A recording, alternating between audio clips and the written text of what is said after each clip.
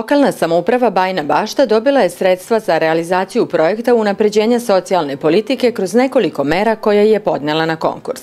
Projekat je odobren od strane ministra bez portfelja, gospođe Slavice Đukić-Dejanović, zadužene za demografiju i populacijonu politiku, a kroz javni poziv za dodelu bespovratnih sredstava jedinicama lokalnih samouprava za sufinansiranje mera populacijone politike za 2018. godinu. Ukupan iznos odobrenih sredstava za sufinansiranje troškova mera populacione politike za našu lokalnu samoupravu, koji predstavlja učešće kabineta Ministarstva za demografiju i populacijonu politiku, iznosi 4.781.938 dinara, dok je ukupan iznos sredstava koja su učešće opštine 1.252.322 dinara. Projekat traje četiri meseca i pružit će brojne pogodnosti za razvoj socijalnih usluga u Bajne bašti. Jedna od mera je obezbeđivanje uslova i akreditovanih programa u školi za realizaciju celodnevne nastave za učenike od prvog do četvrtog razreda, zatim snižavanje psihološke cene roditeljstva, uspostavljanje usluge lični pratilac deteta, unapređenje usluge dnevnog boravka san i edukacija građana iz oblasti populacione politike koja između ostalog obuhvata dve televizijske emisije. Fenomen nedovoljnog rađanja je proces koji nije uspelo da izbegne ni jedno razvijeno društvo. Danas se veliki broj zemalja suočava sa rađanjem dece ispod nivoa potrebnog za zamenu generacija, što je opšti cilj održivog demografskog razvoja. Nivo rađanja potreban za zamenu generacija znači da broj živorođenih i broj umrlih u dužem vremenskom periodu treba da bude izjednačen. U Republici Srbiji već dugo broj umrlih sve više premašuje broj živorođenih u toku jedne godine. U modernom svetu teži se povećanju fertiliteta pozitivnim posticajima, što je jedini održivi odgovor na problem nedovoljnog rađanja dece. U nastojanjima da se pronađu najbolje mere za posticaj rađanja kako bi se došlo do željenog cilja zamene generacija, važno je da se vodi računa o tome da oko 10% žena ni u budućnosti neće moći da učestvuju u reprodukciji zbog steriliteta ili drugih razloga. Zato stručnjaci projektuju da je za prostu zamenu generacija u Srbiji potrebno da od ukupnog broja žena koje rađaju na kraju reproduktivnog perioda 11% bude sa jednim detetom, 44% sa dva i 45% žena sa troje živorođene dece. Za rezultate uz sve mere za posticanje rađanja potrebno je vreme. Procene stručnjaka su da je za provjeru uspešnosti merna jedinica decenija. Zbog toga se u Srbiji od ove godine primenjuje strategija posticanja rađanja. Ministarka Slavica Đukić-Dejanović nedavno je na tribini u Kragujevcu podsjetila da se u 2017. godini rodilo 160 više beba u odnosu na 2016. godinu, čime je ispunjen prvi cilj strategije posticanja rađanja, a to je da se zaustavi dalji pad broja rođene dece.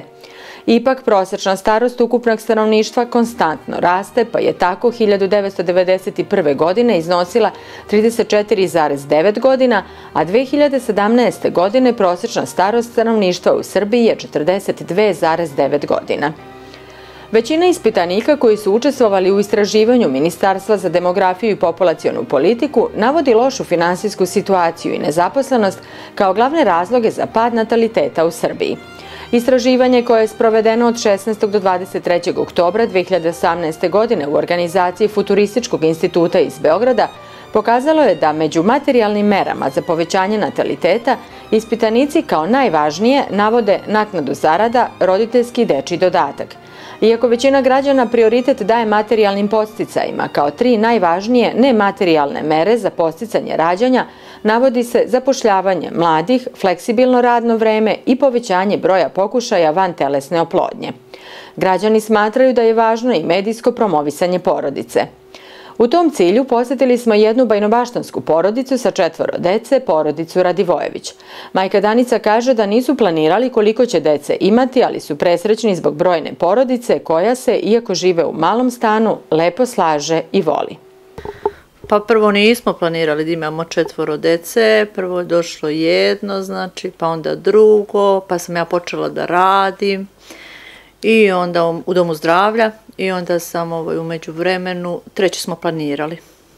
Treće, znači, Filip je planirano dete, Anđelu isto, četvrto nismo planirali, bar ja nisam htjela, međutim imala sam zdravstvenih problema, znači gde je doktorka ginekološki savjetovala da treba znači da rodim četvrto dete, da će to da se obnovi materica, jajnici, šta ja znam već sve to. I onda sam negde što kaže i ostala trudna i eto, nisam ja baš bila, muž je više bio za četvrto baš onako radostan, ali ja sam onako bila teška vremena, kako ćemo, šta ćemo i velika razlika između dece. Najstarija ima 23, a Saša 20, a Filip 14 i Anđela e, 7. Ako razgovarate sa decom ili odraslima koji potiču iz brojnijih porodica, porodica sa više dece, većina će vam reći da su odrastali srećno sa braćom ili sestrama, da je ljubav mnogo važnija od bogatstva, da im i pored skromnih životnih uslova ništa nije teško padalo ako imate nekog da vam pomogne i da sa njim podelite obaveze, ali i radost i tugu. Okruženje u manjim gradovima generalno nije blagonaklono prema višedetnim porodicama zbog brojnih predrasuda koji su možda i naseđe komunističkog perioda, ali i posljedica materialističkog gledanja na svet. Poslednjih godina gubimo toplinu i ljudskost, a sve više se okrećemo statusnim simbolima koje donosi moderno doba. Umesto da nam deca nauče da pre svega budu ljudi, nadmeću se skupim telefonima, firmiranom odećom i ostalim glupostima. Prave moralne porodične vrednosti skoro da su izgubile bitku sa reality životom koji se građanima nameće preko TV ekrana, žute štampe, društvenih mreža. Kakva je bila reakcija okoline? Pa reakcija je bila svakakva, znači za treće dete kad je ono, bila je, svi su se ono, da ne kažem da me malte ne linčuju ljudi, šta će ti, treba to izdržavati, imaš sina, imaš čerku, to je baš lepo, šta će ti sad, mislim, šta će ti. A već četvrto kad je bilo to, mislim da je bilo ono, ne znam, ne znam, ne znam kako bi to sad rekla, bilo je jednostavno i, me, i meni su ljudi isto nabili komplekse da sam ja ono, kako ću sad izaći četvoro, ono, četvoro dece, gde ću, ono, jednostavno nisam ni ja da kažem to sad prihvatila, zato što su mi ljudi bukvalno nabili komplekse, ja sam, malta ne, ono, ne, nisam prvih dana ustajala iz kreveta, evo kako, posle naravno kako je trudnoća odmicala, ja sam to prihvatila, ali sam uvek nailazila na osude. Pa i danas najđem na osude, pitanja, koliko imaš dece? Četvoro. Aj, Bože, sačuvaj. Mislim, pa kao onda, onda ljudi kao, pa kako izdržavate, onda idu kao tom nekom, da kažem, lepom pričom. Da li sad oni tako misle ili ne misle, nemam pojma, uglavnom, to je to, eto, što se tiče ljudi.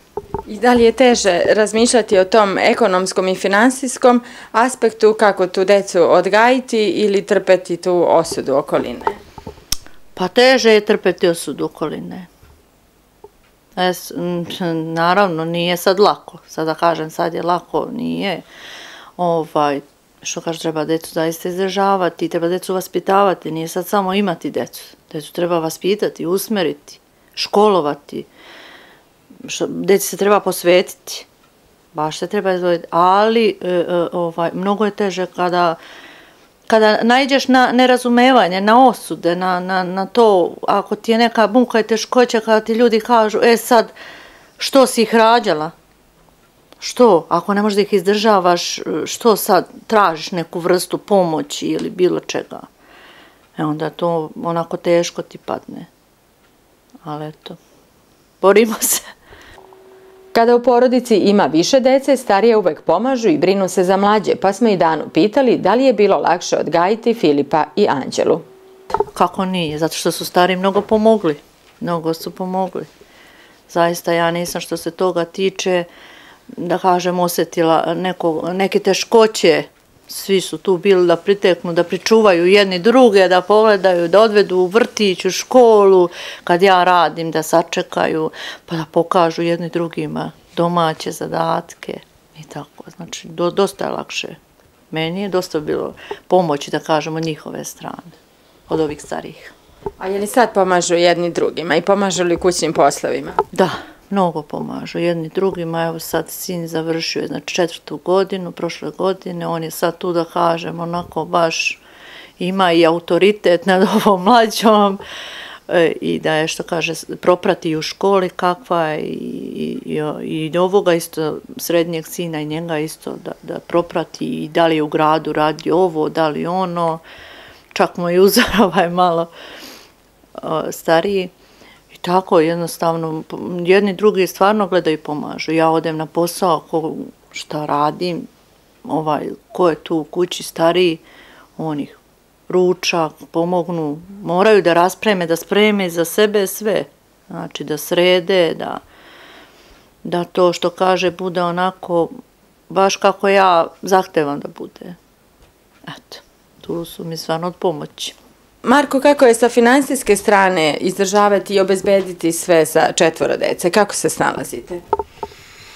Pa, mislim, ono, kao i svi ljudi koji žive ovde u ovoj okolini i u ovoj državi, teško je, ali opet kažem uz Božiju pomoć, ovaj, opet da, da kažem da gde ih je više, da Bog i više daje, što kaže. To znači, ovaj, naravno nije sve ni, ni u novcu, nije sve ni u tome, što kaže. Jednostavno, bitno je da ljudi imaju da kažu neku, neku slogu, i nek, pa čak i kad nešto dođe i da se nema, da se istrpi to.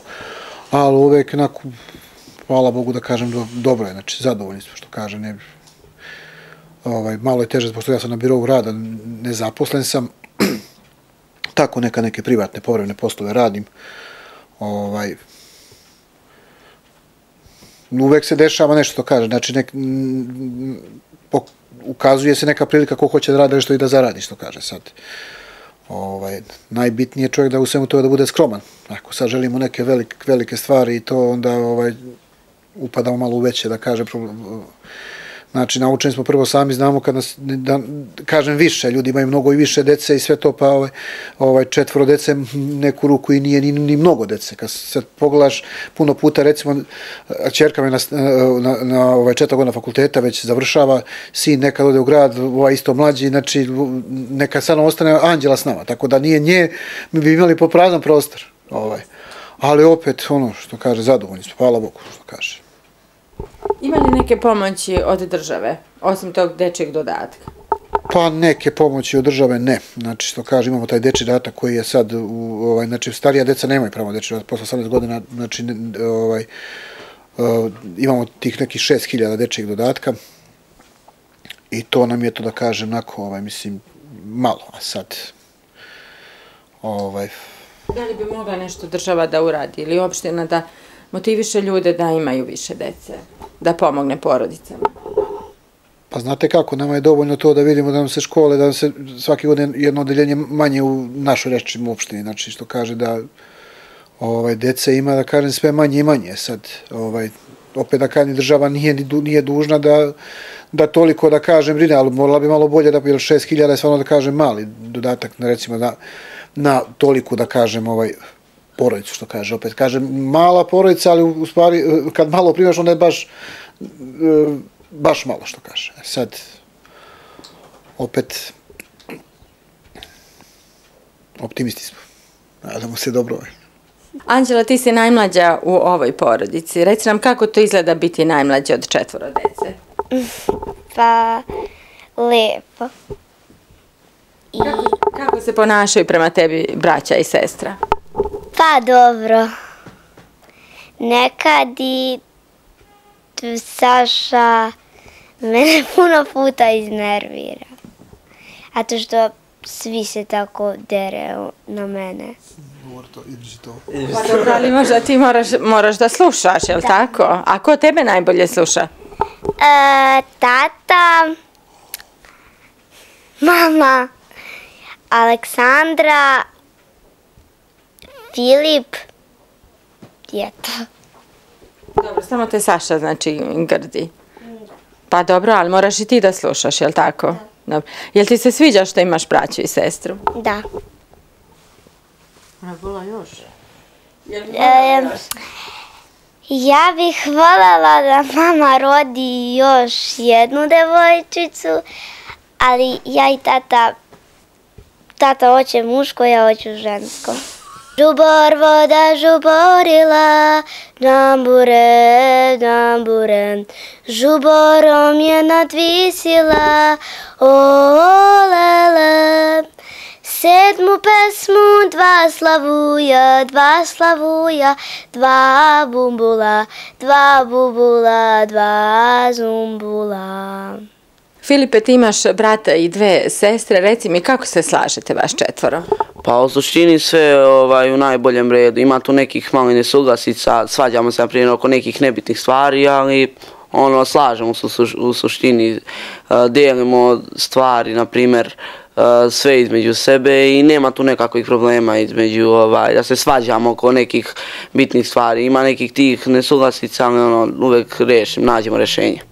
A reci mi, znači li ti nešto, recimo starija sestra i brat mogu li da ti pomognu oko škole? Pa da, na primjer, starija sestra, pošto dobro poznaje ovaj strani jezik, na primjer engleski i ruski, ona mi ovaj, kako se pomaže. Mihajlo, ti si često ovde u poseti kod e, tvoje familije, kod tvojih rođaka. Je li ti se sviđa ovako što je njih ima više? E, pa da, u suštini, pošto smo ja i Filip drugorođaci, izgleda kao da smo rođena braća. Ti imaš samo sestre, bi voleo da imaš još braća i sestara? Pa voleo bi da imam blizan se da e, brata i sestru još jednu. Jel kažeš tu svoju želju roditeljima? E, pa kažem, ali oni kažu uvek vidjet ćemo i tako. U skladu sa svojim budžetom, opština Bajna Bašta izdvaja određena sredstva za posticanje rađanja koja isplaćuje majkama za prvo i svako sledeće novorođeno dete. Što se tiče mera lokalne e, uprave, lokalne politike, ona je pre svega koncentrisana na to da se pomogne e, majkama koje rađaju više dece. Znači, u tom smislu e, za prvo i drugo dete pomoć za zaposlene majke je 15.000 dinara, za nezaposlene je e, 45. Za treće dete pomoć je za zaposlene u iznosu od 30.000, za nezaposlene u iznosu od 90.000. Za četvrto dete je za zaposlene 60, za nezaposlene 120 i peto i svako naredno dete je 90.000 dinara za zaposlene i 150.000 za nezaposlene. Kakva je dinamika tih isplata? U zadnje vreme mi ovo isplaćujemo u vrlo kratkom roku, od momenta podnošenja najviše mesec dana. Jedino ako ima slučaja da ja ne znam da nešto nije bilo u redu oko dokumentacije. Najčešće se desi da oko samog tog podnošenja ko ima pravo, ko nema, ali svi koji žive na teritoriji opštine Bajna Bašta svakako imaju pravo i obično podnosi majka. Konkretno mislim da je u našoj opštini najveći problem zapošljavanje. Kada govorimo o, u naše, o- zapošljavanju u o- u opštini Bajna Bašta imamo jedan evidentan problem. E, svi bi da se zaposle u lokalnu upravu, hidroelektranu ili neko od javnih preduzeća. Niko i ne pokušava da se zaposli u privatnoj firmi, odnosno redki su oni koji se odlučuju na privatne firme, a po mojim saznanjima u ovom trenutku privatni sektor traži sigurno preko 50 radnika, to je minimum u ovom trenutku u Bajnoj bašti. Sa druge strane, e, evidentan problem je ženske radne snage.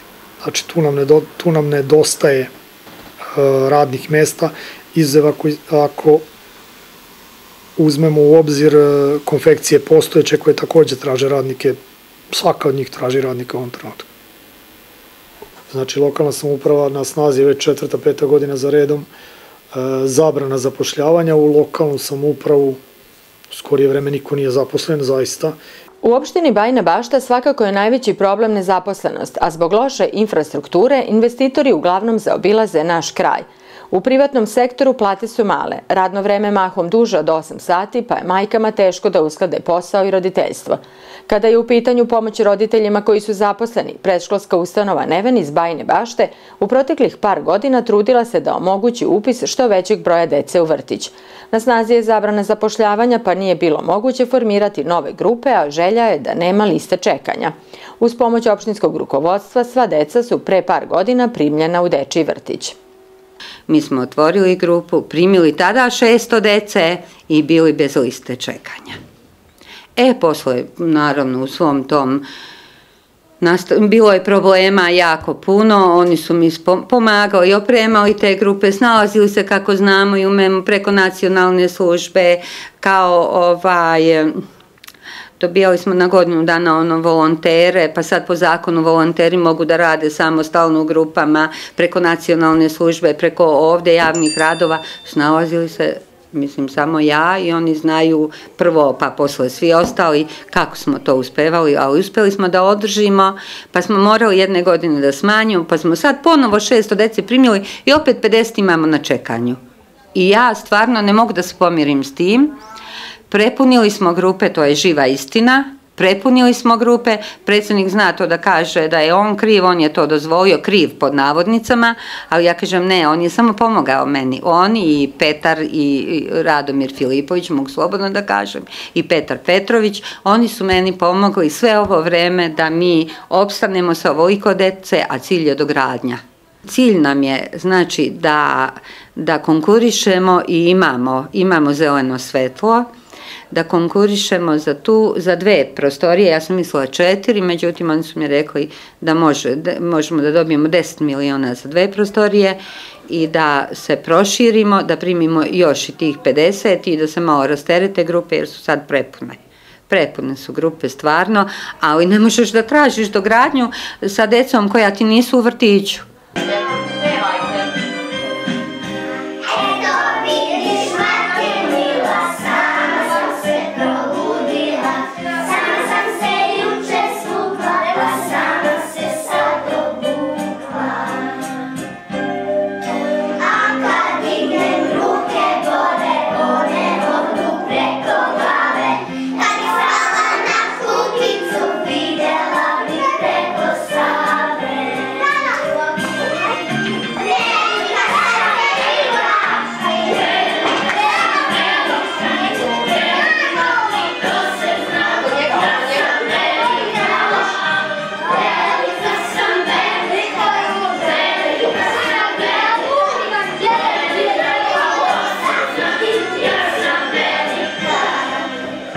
Prilikom prijema dece u predškolsku ustanovu Neven uzima se u obzir i socijalni status porodice. Ova ustanova za drugo, treće, četvrto i svako naredno dete u porodici odobrava popuste pri plaćanju. Kod drugo dete u ustanovi 20% manje plaća od cene vrtića, 20% na celodnevnom pripremnom programu koji je zakonom obavezan 18%, se manje plaća, a treće i četvrto dete u porodici 20% manje. A, a hoću da vam kažem da postoji želja i inicijativa predsjednika da se još ovde da se smanje još cene za treće, četvrto, ali status, status e, porodice kako, ka, socijalni status porodice da se gleda, znači da napravimo neku skalu gde su ljudi koji nemaju primanja, koji su kako da vam kažem, kad je treće dete u pitanju, pa ma, manja primanja imaju da manje i plaćaju. Eto, tako da se napravi neka skala, vidim da postoji volja u opštini da se i to uradi. Mi smo siromašna opština, mala i siromašna, kad uporedim neke druge opštine, kod nas se mnogo više, mnogo više pazi i, i ovaj, kako da kažem, vodi računa o deci, mnogo više nego ti ljudi koji imaju više. Mi manje imamo, ali imamo ljude na čelu opštine koji mnogo više brinu o deci.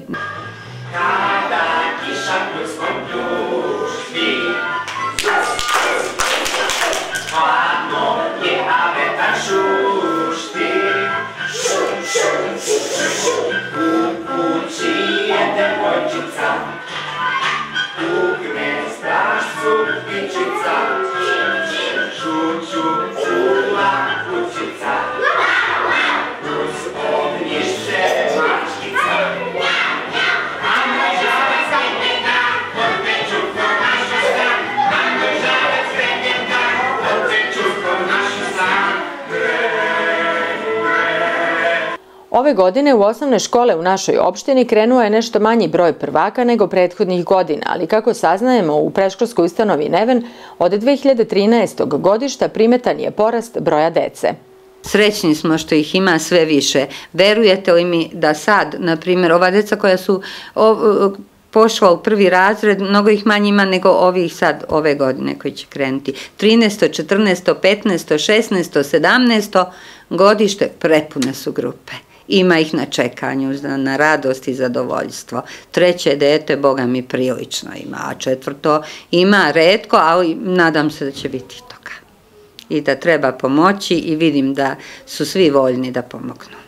U današnje vreme kada smo u Srbiji suočeni sa padom broja stanovnika, naročito sa padom broja e, dece, koje su to neke pogodnosti koje porodice sa više dece mogu da ostvare u osnovnim školama? Evo, konkretno i u vašoj školi, Rag Pavićević. Pre nego što budemo pričali koje su pogodnosti porodicama koji imaju više dece, najpre da kažem da mi u školi pravimo razliku između porodice koja ima više dece i socijalnog statusa porodice. Dakle, može da se dogodi da neke porodice i sa više dece imaju bolju ekonomsku sliku nego porodice sa manje dece.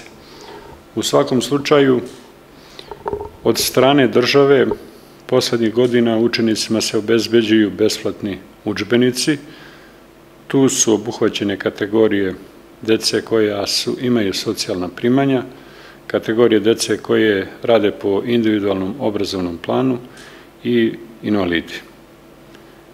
Osim besplatnih učbenika, opština, lokalna samuprava obezbeđuje i besplatan prevoz za decu koja se nalaze izvan 4 km od škole, mada i oni koji su bliže svi mogu da koriste javni prevoz, potpuno besplatno, Dalje u školi nastavimo da deci, odnosno porodicama sa više dece, naravno na preporuku odeljenskih starešina omogućimo besplatnu ishranu u školskoj kuhinji i prošle i preprošle godine imali smo procenat između 10 i 15% od ukupne populacije koja se hrani u kuhinji, iako mi kao škola za to nemamo neka dodatna sestva, to se uglavnom iz one mase novca koje druga deca uplate izdvoji.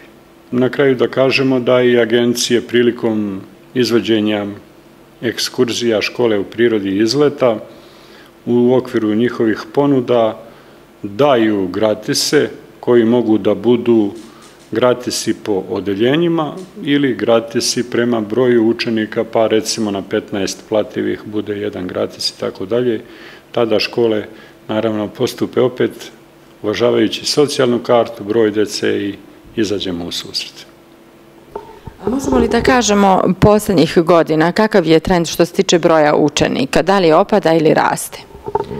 Što se tiče učenika, konkretno u našoj, mogu da pričam i na nivou opštine i na nivou škole. Što se tiče naše škole, mi smo imali proteklih godina jedan značajan rast učenika, skoro za neka dva, tri odeljenja došlo je do porasta, što nije opšta slika bila za grad. Ali ovih, da kažem, prema nekim podacima kojima mi raspolažemo, doći će do blagog porasta, što je dobro dece u našoj opštini, tako da će recimo godište 2015. preko 200 učenika poći u prvi razred na, na našoj opštini. Evo još možemo da pomenemo, pošto ste e, vi pre svega učitelj u radu sa decom. Da li ste primetili ako je neka porodica e, sa više dece, kako se ta deca ponašaju, kako oni napreduju u radu, odnosno na primjer na neko dete koje je jedinac u porodici? Pa ne bih tu mogao nešto da generalizujem. Ima sjajne dece koja su jedinci, koji su potpuno i pravilno socijalizovani gde porodice ovaj, pravilno vaspitavaju svoje dete i naravno ima dece koji gde ima u porodicama gde ima više dece, ta su deca u tom socijalnom i emotivnom pogledu čini mi se malo bogatija, samim tim što iživljavaju jedan bogatiji socijalni i emotivni život.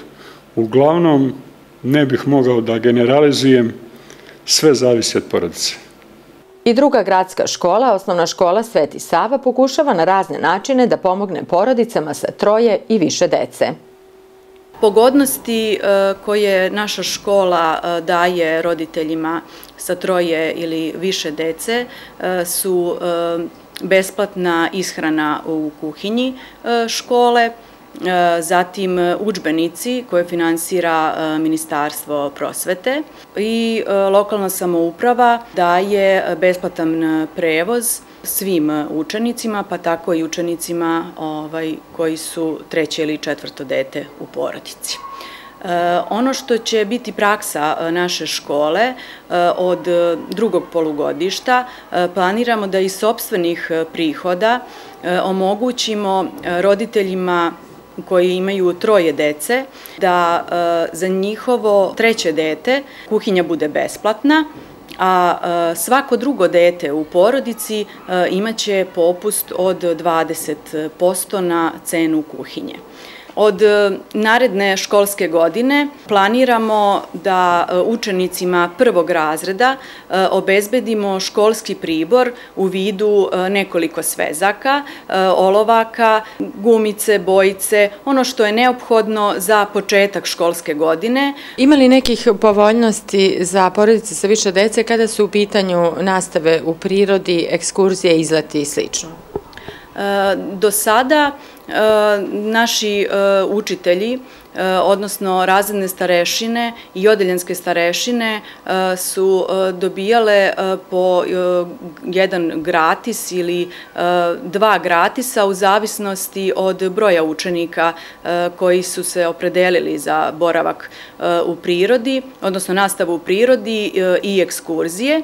I uglavnom su, naravno u dogovoru sa roditeljima, E, ta sredstva opredeljivali e, učenicima e, iz socijalno ugroženih ovaj, porodica.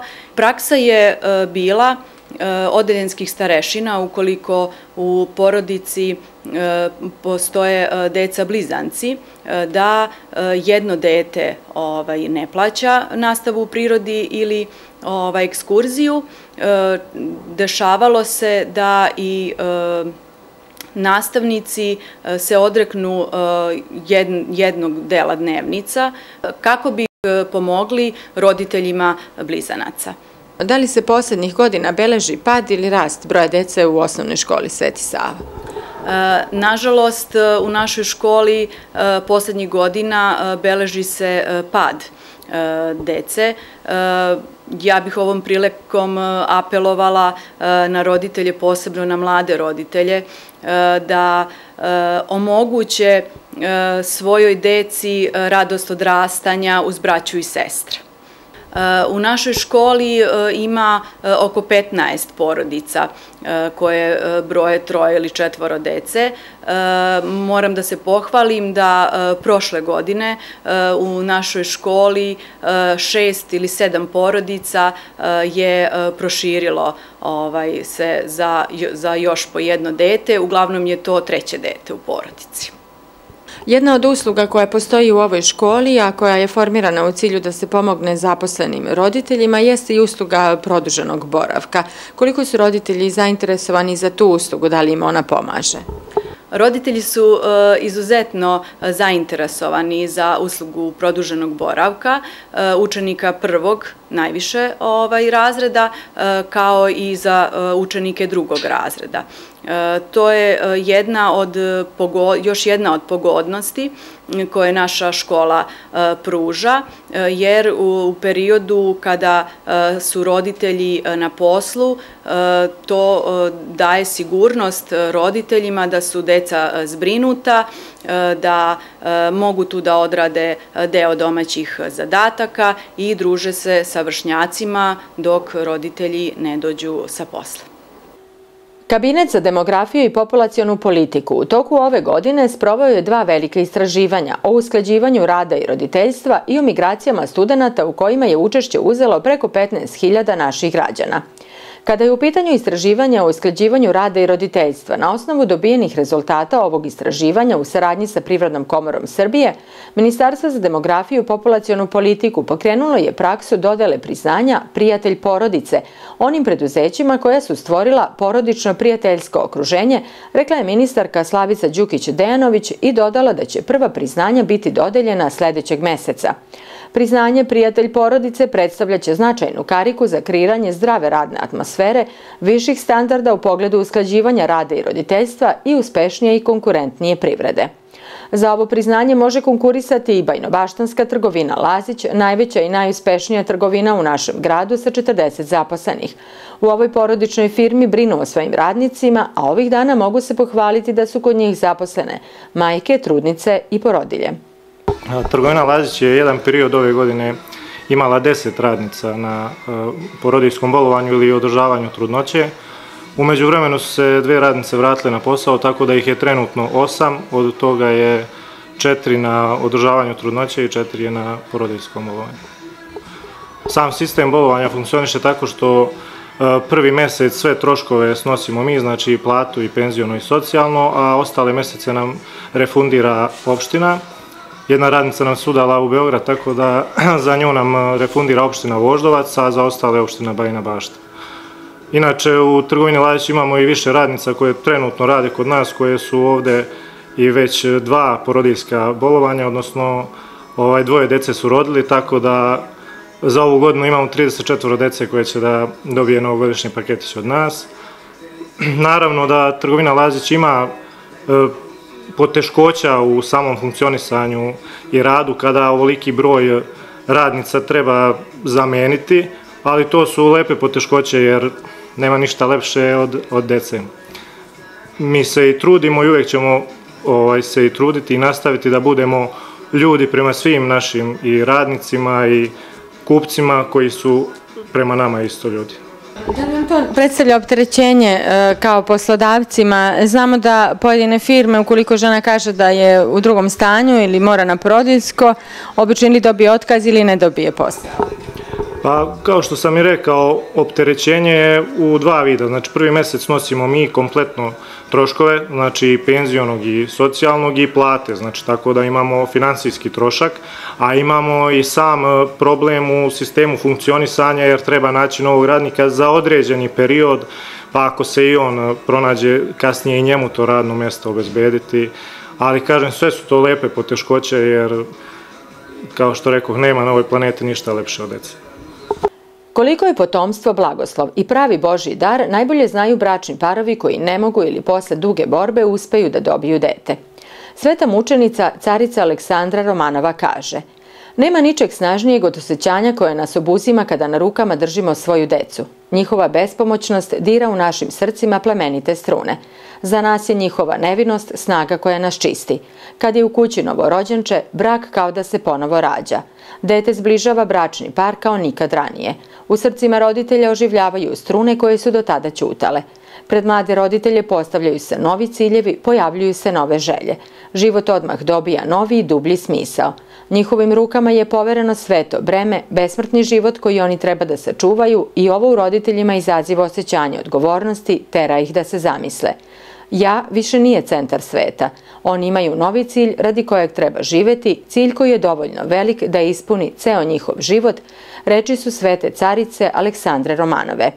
Na ovu temu razgovarali smo i sa sveštenikom Bajnobaštanske crkve, ocem Vladimirom Aleševićem, koji je i sam otac petoro dece. E, recite nam, e, koliko je to Boži blagoslov e, imati dete, a naročito više dece? Evo već iz prvih redova Biblije, kada čitamo Bibliju, vidimo da je Bog tvorac ovoga sveta i da je tvorac i čoveka. Tako da se zahvalnošću odnosimo prema životu, jer nam je Gospod darovao život i kao takvi treba da budemo zahvali na tome. Pa i kada služimo liturgiju, služimo je samo isključivo radi zahvalnosti što nam je Gospod podario ovaj život i što nam, što nam je podario ovaj svet da u njemu i prebivamo dok ne dođemo naravno u carstvo Božije. Tako i mi u svetoj tajni braka rađanjem dece produžujemo to stvaralačko delo Božije i ovaj donosimo, kako mi to volimo da kažemo, novog čoveka na svet. Opet da kažemo da sve to biva Božim blagoslovom, da bez Božih blagoslova svakako ovaj ništa na ovome svetu ne možemo, a kamoli to veliko delo kada jedna nova ličnost, novi čovjek dolazi u ovaj svet. Radujemo se detetu, dete, ne, ne znam šta može više da ustreći čovjek u ovome svetu, ali u isto vrijeme znamo da je to novi čovjek za carstvo Božije i da nije samo naš. Gubimo onaj posesivni odnos koji uh, smo spremni da naglašavamo u ovome svetu, nego znamo da je to Božje dete, posebna ličnost koji će opet uzrastati i imati naravno svoju porodicu i tako dalje, kako opet bude po Božem blagoslovu. U današnje doba bitno se ugrožavaju vrednosti na kojima je zasnovan i sam porodični život, a zna se da je porodica osnovno ognjište u kome se rasplomsavaju plamičci ljudskosti u nama. Zato je jako važno sačuvati porodicu i moralne vrednosti. Ako ne razmišljamo o sebi, svom životu, upašćemo u mnoge zamke ovoga sveta. Nije jedna zamka, mnoge su zamke ovoga sveta, a jedna od tih zamki upravo što ovaj svet, kako i oci kažu i u svetom pismu ima u zlu leži. I onda dešava se da je porodica prva na udaru. Dakle, porodica kao jedan stup sigurnosti svako od nas, a naravno i sociolozi, oni što se bave drugim pitanjem, reće da je e, porodica osnovna ćelija društva, ali tako, bez zdrave porodice nema ni, ni zdravog društva, ali tako, nema, a u isto vrijeme u prenesenom smislu nema ni zdravog pojedinca. Tako da ta iskušenja možemo da prebegnemo jednom, jednim zdravim hrišćanskim životom.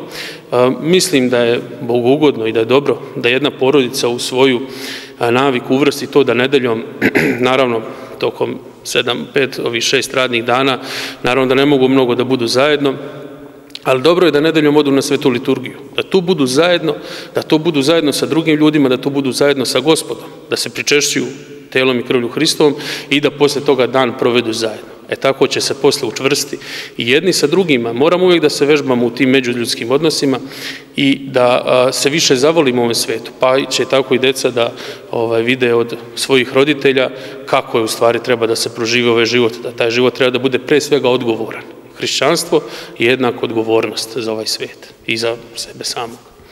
Evo da pomenemo na kraju da i vi imate petoro dece.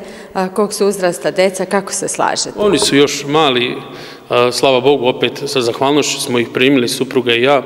O, slažu se kao i sva druga deca, nekad tu bude i trzavica, nekad bude, ali uglavnom vidim da se vole. I e, ono što je zadatak nas kao roditelja je da se oni suštinski zavole međusobno. Znate, iako ovaj, posle u životu može da bude bilo kakav problem, oni mislim da će biti da će se držati zajedno ako Bog da, opet ako Bog to blagoslovi. Uglavnom oni su mali još uvijek e, raspoznaju se neke karakterne crte ličnosti, ali videćemo i do nas to i do moje i suprugine odgovornosti kakvi mi budemo roditelji, takvi će i oni biti, je tako?